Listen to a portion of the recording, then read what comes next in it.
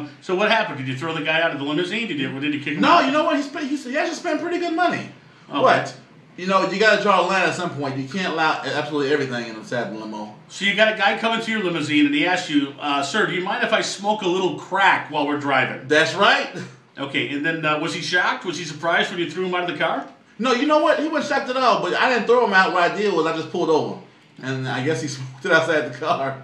Very nice. You're listening to Slam Internet Radio, ladies and gentlemen. This is Matt Kissane, and uh, coming up at 7 o'clock in a few minutes, we're going to be having the lovely Sherry Winkleman from the Ultimate Cougars on the Oxygen Network. But before that, we're going to play a little clip here with um, uh, an interview that I did a few weeks back with a very funny guy. His name is Craig Gass, and uh, if you haven't, if you don't know his name, you probably know his work because he's been part of the uh, Gene Simmons uh, Comedy Central roast um, a couple years back, and he does a, a really good Gene Simmons. So here's a few minutes with uh, me and Craig Gass.